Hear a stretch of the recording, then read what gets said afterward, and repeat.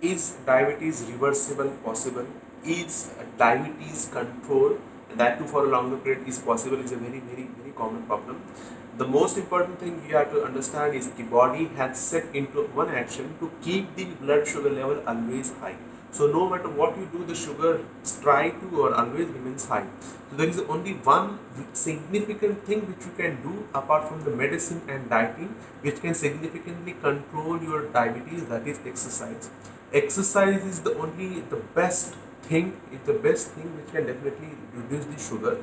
You have to simply understand one thing whatever you are eating is simply putting the sugar into the bloodstream.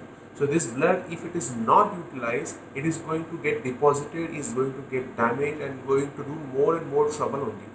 We have a habit of eating you know two to three times a day since childhood so our physical activity significantly change after the age of 30 we don't tend to do significant activity which we used to do significant earlier so our physically activity significantly reduces after 30, 40, 50, 60 but our food almost remains the same. So you just keep on eating 3 chapatis in the morning, 3 chapatis in the night time but you significantly reduce the physical activity. So your physical activity is very very less. It keep on reducing with the age but your diet doesn't.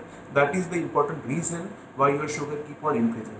So increasing putting more pressure on the muscles is very very very important there are two types of exercise one is endurance training one is strength training both the training are very very important to keep the muscle strength very very important so in endurance walking gymming cycling jogging hogging these are all all physical activities come into endurance training whereas in strength training pull-ups push-ups dumbbells which these are the strength training. If you do both of the uh, exercise for whatever amount of time which is feasible for you like it can be 10 minutes uh, uh, 20 minutes 30 minutes 1 hour 2 hours 6 hour 8 hour 10 hours 12 hour whatever is available. More of exercise you do the better will be your sugar control. So if you do exercises activity very regularly your muscles get huge number of mitochondria which are the basically powerhouse of the cell which can utilize this glucose very effectively.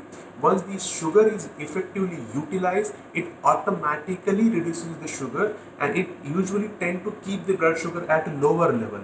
So if you don't put uh, exercises if you don't do exercises this uh, poor muscle strength cannot utilize glucose so body tend to just add on the sugar. So if you want to reverse your diabetes apart from the uh, dieting exercise is the only and only key which will keep you healthy for rest of your life which will keep your sugars at very very very very very low level and which will minimize your heart issues bone issues joint issues kidney issues eye issues and all the things. So diabetes reversible is only and only possible through dieting plus the exercise which is the most important key factor. Thank you